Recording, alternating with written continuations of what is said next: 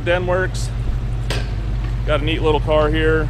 Really enjoy this car a lot. It's a uh, 1969 Dodge Dart GT convertible.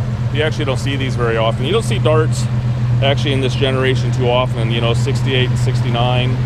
Um, I actually had, I've only had this one and another car that I actually sold for a gentleman. I own this car, but I was able to uh, sell a 1968 Dodge Dart uh, actually uh, Hemi Dart, and uh, it actually ended up at Barrett Jackson a few years ago. But it was a really cool car, and uh, came out of Canada um, when it was new, and very, very, very cool. And it was bought originally by a guy named uh, Cam Noseworthy, and and then it uh, ran under Dick Panther for a while. But anyways, this isn't a Hemi Dart.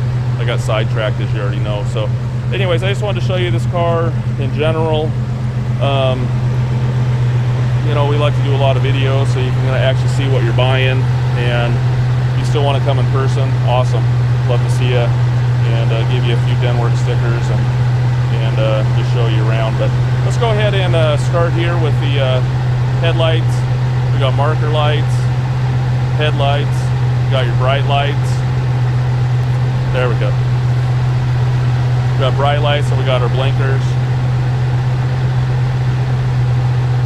We got your left and we got our, our right. I always get my left and right messed up. But I love the front end of these cars. I like how this kind of swoops down right here. Very cool. And uh, usually when you look at darts in general, you just kind of think they're they're just kind of flat around there. They actually have a really kind of a neat look there. Hopefully you can see that. And uh, I like how they put PT right up front. You know, the bumpers are in really nice condition, front and back. And uh, the grill is in good shape. You'll see some little minor, um, you know, just road, road rash, you know, just from being driven. You'll see scuffs and different things. The car's not a restored car. I think, you know, you guys already kind of know the style of cars I like. I kind of like cars that you can actually drive, you can you can enjoy, and uh, you know cars that haven't been overly restored, and you can see little chips, you know different things, little dings. I like the turn signals. I'll show you those working here in a minute. You look down the side, you'll see little tiny waves and different things. Looking down there, we'll get closer as I go down there to show you a few things, and uh, we'll. Uh, walk around both sides of the car. And uh, so we'll just show you off here. We'll turn it around in a minute so you can see the other side real good. But overall, in really good shape. This thing originally had uh, wheel lip moldings on it. When you see it on the lift, you'll see the little screw holes. You can see here the, the wheels are 14 inch. It's got 205, 70, 14 BFG radial TAs on the, uh, the front and it's got 225s on the rear. You can see here the V8. It's a 318 car. You can see the trim. I love the trim on this. There's one little dent. You can see a little dent right here. You'll see some little imperfections in the paint underneath the, the window. But we're looking there for there. Um, it's not rusty. This car is actually really solid. It does have a little bit of rust, mostly on the trunk drop-offs and behind the rear wheels, but really pretty minor. You can see the original VIN right there. What I'd probably do is have this repainted, you know, behind the, the little dash pad there. And uh, it's got a uh, remote mirror. It's got a lot of nice options actually because it's got disc brakes, it's got bucket seats, console, got a light in the trunk. You know, things we take for granted today.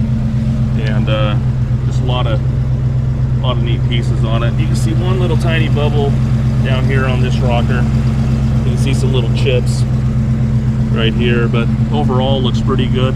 There's a little, there's an indention. Hopefully you can see that right here on the uh, the quarter panel, and uh, really hard to take a photo, but you can just, I don't know if someone was leaning over it, and there's just a little tiny indention, indention there, and uh, you can look here around the wheel lips. Again, really pretty good.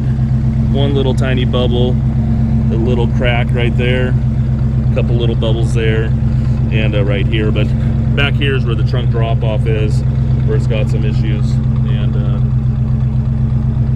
you can see here the gas gas cap, couple little chips. But overall, a really nice little driver. There's a little crack right there. I'll show you inside the trunk what happened there.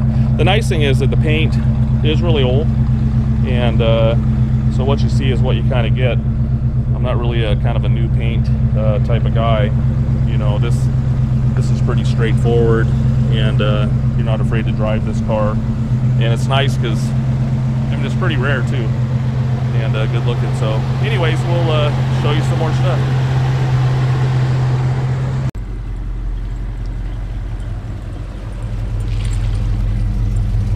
You like that car, Stanley? Pretty nice looking. Okay, here we are. Uh, flipped it around here so you can see it a little better, just light wise. Go ahead and rev it up just a little bit. It sounds great. Like the dual exhaust. You can see here the tail lights are on. Go ahead and put the brake lights on. See the brake lights. Got blinkers. You got your left. Do the left again.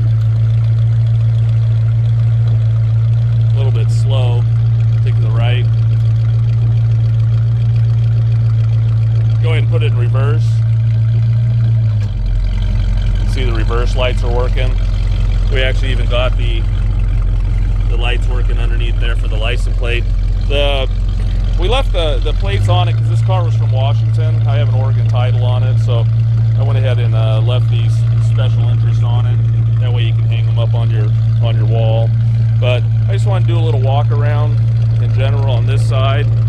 You can see down the side, fairly straight, but you know it is white and uh, it does have a little bit of wobble. You'll see, especially right here on the Dart emblem, there's a little indentation there. You can look down the side there.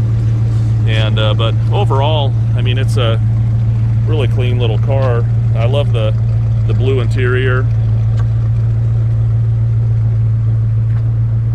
You know, just sets it off really nice. Other things I was going to make note of that's really hard to see in a photo.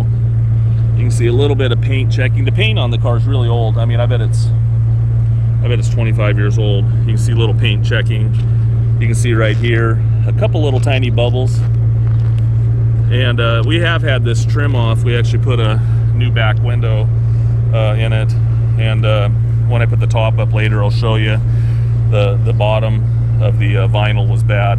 And uh, so this isn't really rusty underneath here. It's just got a couple little bubbles right there. Little cracking right there. And uh, go over here on the other side. You can see a little couple little tiny imperfections, a little crack right there on this side. And uh, you can see a little bit of pitting and stuff around the tail lights. This is that area here. If you look inside the trunk, it got tapped a little bit right there. So that's a filler filler crack and uh, so just wanted to show you that. This car would be a great car, you know, just to drive and show and enjoy. You can see some little chips there, little bubbles, but it'd be great for cars and coffee and um, just taking your wife or boyfriend out. There's a lot of girls, ladies driving cars and enjoying them. Actually, our head mechanic is a lady, and she's she walks circles a lot around a lot of guys. Um, knows a lot, knows her stuff. You can see here the rockers look really good. I'll put it on my lift so you can see it a little better. It's kind of a cool thing on Dodges. Actually, when I first got into this a long time ago, I was such an idiot. I was looking for another emblem to put on the other side. And then I realized that Dodge, Chrysler and stuff, that was kind of their signature. You'll see it on DeSoto's and stuff. Not that, but they'll put a little thing on the trim right here and just some of the Mopar uh, type brand. Uh, they put it on this side. So, you know, no rust really in the bottom of the doors or anything. You can see little chips, little different things. I like the trim on this car. It looks good. Hey, go ahead and uh, turn those blinkers on real fast. You can actually see these actually even work up here. Hopefully you can see it from way over here. But that one works too. They actually light up really nice. So hopefully that gives you a good idea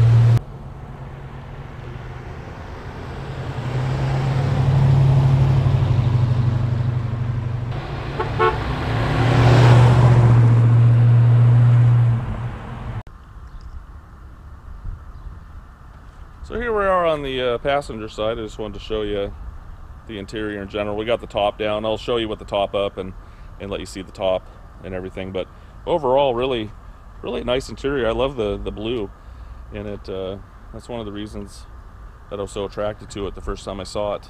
And uh, this looks in really good shape, like the headrests and stuff.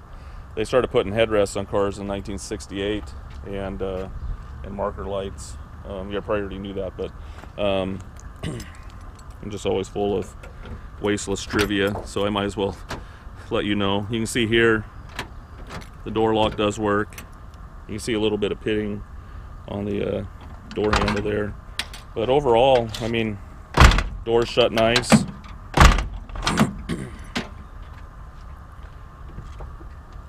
it's got bucket seats console. I don't know if all GTs had that. You know, there was a lot of options and stuff on the Mopars, and uh, I like the console in these. Actually, it looks good. You can see here the dash is in pretty good shape. A couple little cracks going across the middle, and uh, the steering wheel has a couple little cracks. I'll show you on the other side. But this is a factory air conditioning car. You can see the AC here, and uh, the heater and everything works. And when you hit AC, you can feel it coming out of the bottom. But again, the uh, the AC is not working in the car. Look in the glove box here. you know, overall, pretty nice for a driver. You know, the carpet's older. You know, not in bad shape, not all ripped up, but that's one thing I'd probably change in it. And uh, but you know, the seats are in good shape.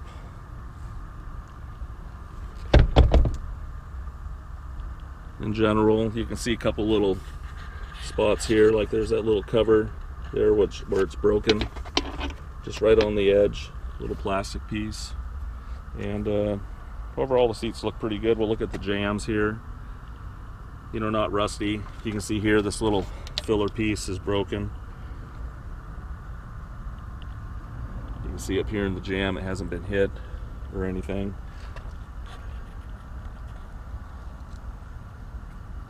See the door panels are in fairly good condition.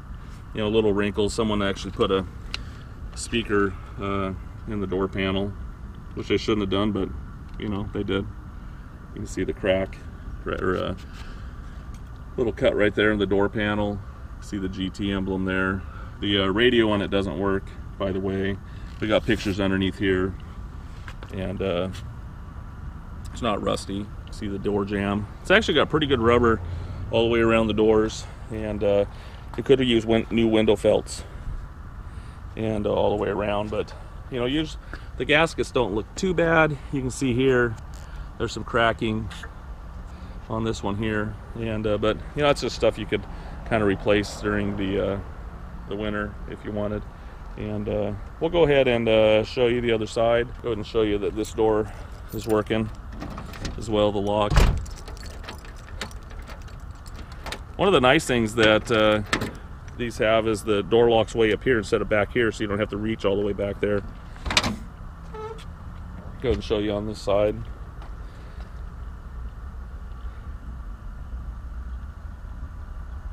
You know, everything's uh, working and uh, flasher works, the lights work, heater's working. See some cracks on the steering wheel.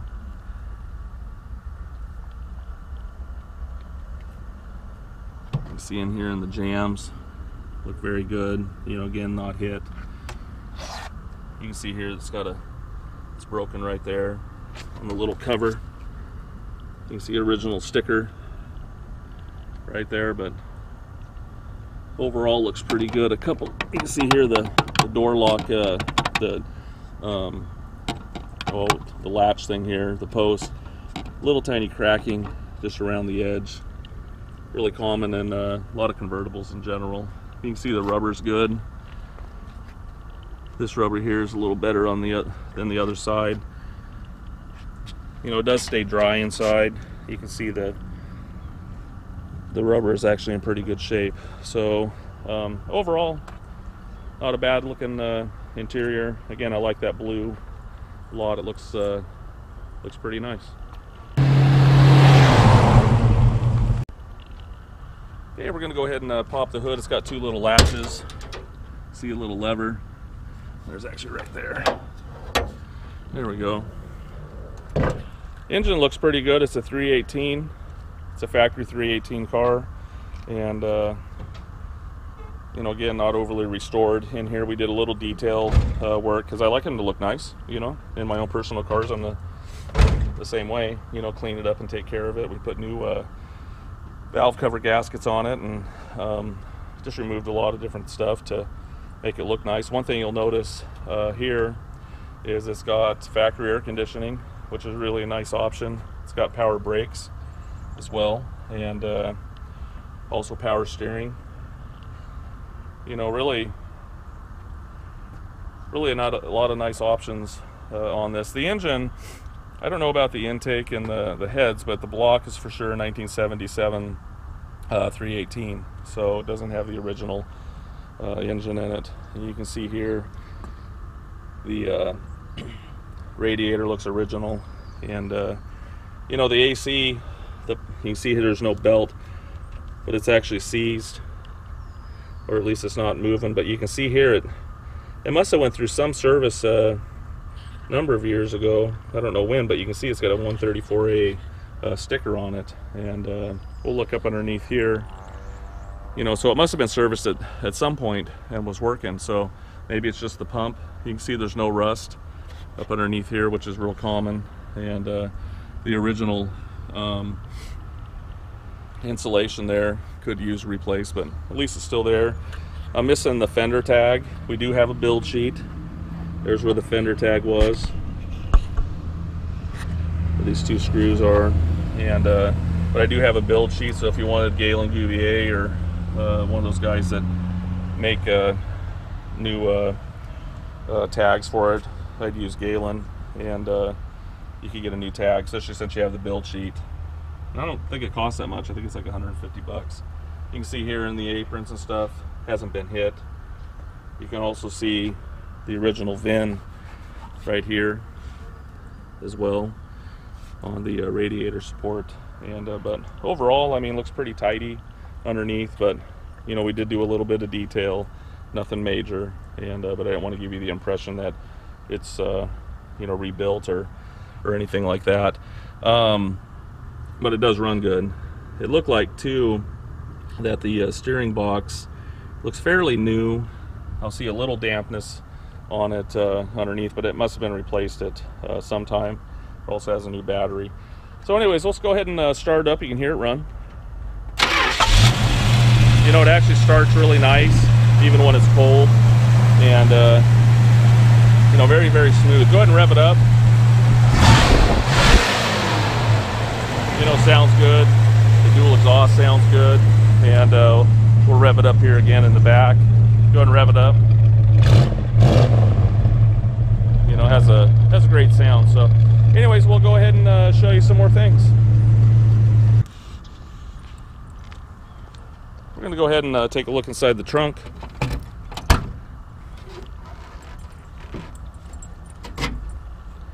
Actually, it's in pretty good good shape you know everything looks in uh, good shape when you put a mat over it but we're going to take that out. You'll see photos of it.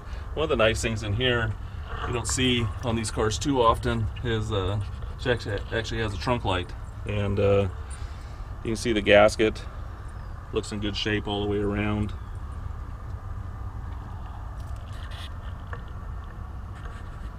You know I don't see any major accidents or anything like that going around.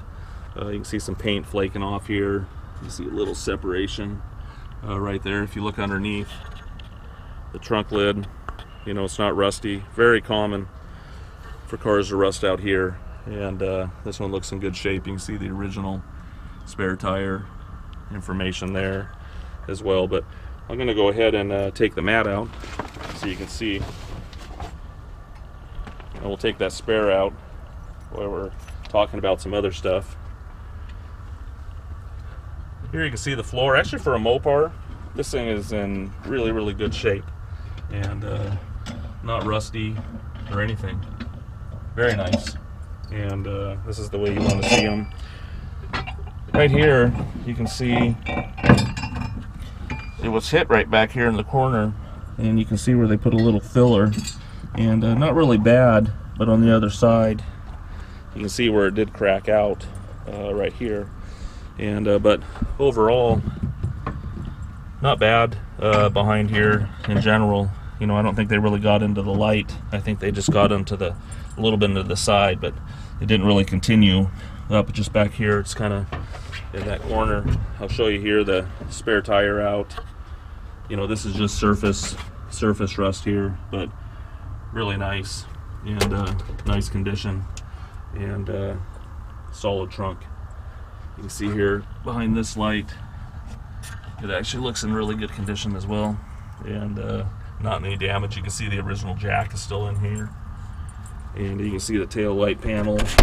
Well, it's not really the well, we'll call it the tail light panel. the filler panel here above the bumper is in uh, pretty good condition. So hopefully that gives you a good in look at the uh, the trunk area. I mean, structurally the car's in, in really good shape and uh, has little stuff, but we'll put it on my lift and show you some other stuff.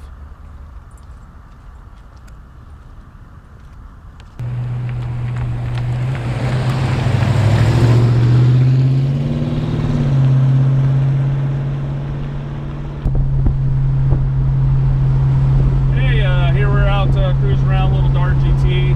I love driving this car. You know, it's just it's just fun, and uh, love driving through Oregon, e- especially here in the fall. You know, the leaves are pretty much gone, but it's actually not too cold. You can see I'm not wearing my my jacket. When I left, my daughter's like, "How come you're not wearing your jacket?" Well, I'm a kind of a shorts and t-shirt guy all year, but anyways, uh, I just want to get behind the wheel and just show you different stuff about it, and you know, just the components. You can see here the brakes.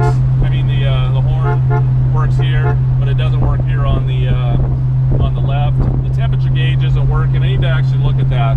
Um, I thought it was working before, but no promises that I'll, I'll make it work again. You know, the fuel gauge works. Alternator, uh, you can see it's charging. Oil gauge is only going to come on if it's got an oil issue. You can see the wipers. They work, and uh, the blinkers work in the dash as well. Hopefully, you can see that. And uh, I don't know if the app, I never did check that. We'll check it real fast. But overall, it should pop out there in a minute. We'll we'll see. Yeah, red hot. It works.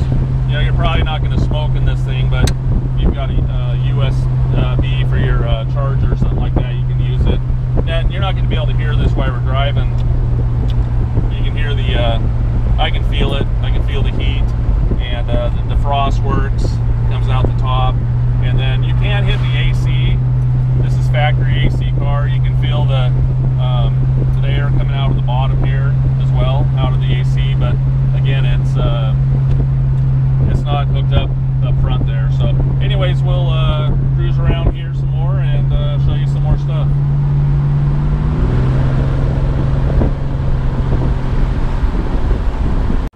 Okay, here we are. I wanted to show you how the, the top works. So basically, you want to take the snaps off. You know, a lot of people know how to do this, but, you know, sometimes people don't. And uh, all of them are a little different. And uh, so it's called a tonneau cover, and it has to slide. So you can actually, you slide it out of that little channel. Oh, actually, hold on. There we go.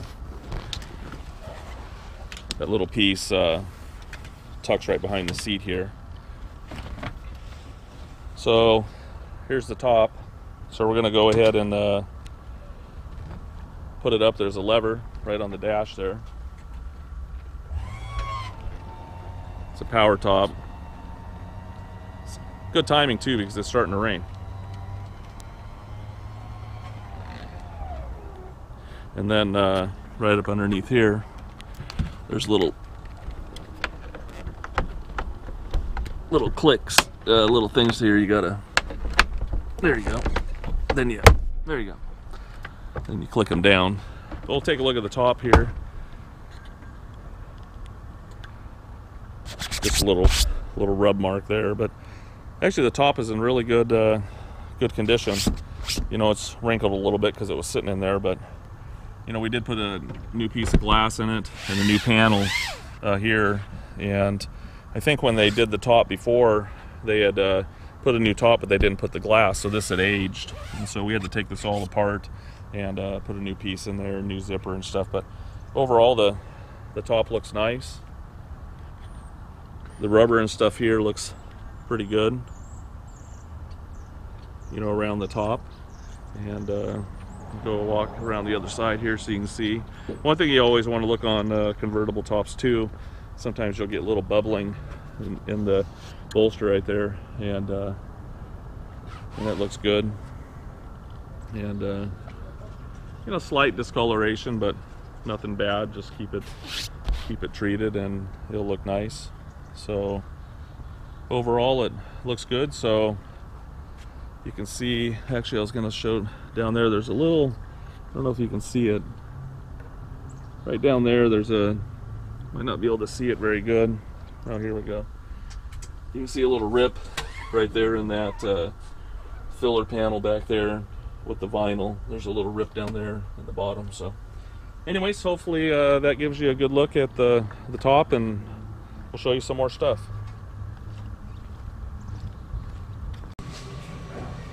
Hey, here we are. We're going to take a look underneath the uh, the little Dodge. And you're still going to see the still photos and everything, but uh, I like to do a video underneath. It's the first thing I look at when I uh, look at a car. Uh, it's just important. You know, everything can look pretty on the outside, but you want to see the structure underneath. So um, a video is really nice to, to do because um, I can point out different things and talk about it. Unlike, you know, just looking at a photo is great, but you can't really, you know, sometimes see a lot uh, about condition and stuff. So we'll just start uh, up here in the in the front. You know, this is a really good car, obviously a convertible, and uh, so rust-wise and stuff, it's actually really solid. There's a few little spots that'll show that's pretty common on on these, but overall, very good car. We'll just start up here in the front. Go ahead and look up here you know, no accident damage. Looks actually really good up here in the uh, front center or uh, inner fender aprons and stuff. You know, very clean. You can look up inside there, up there by the shock tower. You know, again, not any uh, damage or anything like that. It does have disc brakes on it. You can see here. We actually went ahead and put new hoses flush the system out and uh, put new hoses on it, get all the Zerk fittings and stuff. But you know, the front end, um, you know, it does drive good, but it's really never been rebuilt. And uh, but if you look at all the bushings and stuff, they actually look fairly good. Um, you can see a little bit of residue on the power steering. Um, I mean the the steering box here, and uh, but nothing that really hits the floor or anything like that. We put a new brake hose over here as well on the uh, on the driver's side.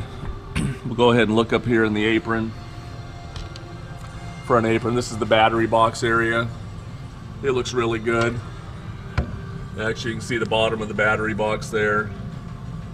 There's a little tiny little section. You can see that hole there, a little section that might have been cut out just a little bit, but um, overall, really nice battery box and uh, front apron looks good. You know, the shock mount up there, excellent shape. And uh, you know, we didn't replace the uh, the shocks on it. They seem to be pretty good.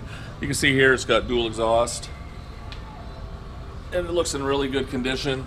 Actually, you know, the engine. Uh, you can see up here the part number right up there 400 it's actually hard to see can't get my camera up there 400 675 318 up here I believe that this engine has been replaced at least the the block it says one one seven seventy seven so I think it's a 77 block the other thing is we changed the oil and everything and we put a new uh, housing uh, gasket around there it was leaking a little bit um, the engine's just been detailed, just a minor detail to make it look nicer. But overall, it's a, it's a great motor. You can see here the little dust cover on the uh, transmission is missing and a uh, little inspection cover. The trans transmission seems to be pretty good. You know, it's an automatic and uh, hasn't had any leaking or anything like that overall. Um, you know, it shifts nice and everything. Underneath here is really important. This is all the, you know, unibody and stuff. Torque box. Looks really good. Excellent condition. I mean, this is the way you want to see, you know, a convertible. Um, everything looks really tidy and uh, no repairs, no rust. right here is where you really want to look at the inner section here of the rocker and the bottom of the rocker. You know, it doesn't have any any rust. That right there is just a little little surface. I mean, nothing, nothing major. And uh, one thing that saved this car is that the the little drain holes aren't all clogged and stuff. But these are really nice rockers for a Mopar. And uh, we'll go ahead and look here at the inner inner rocker here on this side. Again, very good. You know, very nice floors. You know, all the way, all the way back. We'll go ahead and look at this rocker here. You know, the bottom of the fender. Very nice condition. There's a couple little bubbles right here. Real minor that you can see there, but again, the this is really a nice nice car in general and uh, wheel lip looks good you can see here there's some little little tiny holes little screw holes around here it did have uh, you know, wheel lip moldings on it. Originally that would look really nice. You can see a little crack there, a little bubbling around the back here. You can see some filler. This is probably the worst on the car back behind the uh, wheel here. You can see the trunk drop off. Looks good up there, but just right there, you can see it's a little rusty at the bottom and uh, some filler work uh, done. But again, this is pretty pretty easy to replace if you wanted to uh, down the road. Right here's a really good sign back behind the, the bumper. You know, very clean and uh, not rusty and uh, it hasn't been hit uh, back here. This trunk drop off is pretty good except right up here. There's a little rust there and uh, but you know you look at the frame rails you know where the spring mounts here very very good and uh, we did service the uh, rear end as well and put new fluid in it and everything here you can see the frame rails here very nice right back in there by the spring usually you can get pretty rusty and uh, it looks good look on this other side real quick you know again very very clean you know, the frame rail looks excellent. And uh, we didn't replace the shocks back here either. They uh, they were in good shape. So, anyways, I hope that uh, gives you a good look. It's got a newer gas tank in it, and uh, you can see here the spare area. It's not rusty, but hopefully that gives you a good idea what it looks like in general. Um, you know, overall, it's it's really a great car, and uh, hopefully that just gives you a good view. If you got any questions or anything like that, make sure to ask us on BAT, you know, in the comments. You can email me, call me. Uh, if you want to send someone out to look at it before you bid, we'd be happy to show it to you. Thanks and have a good day. Thank you.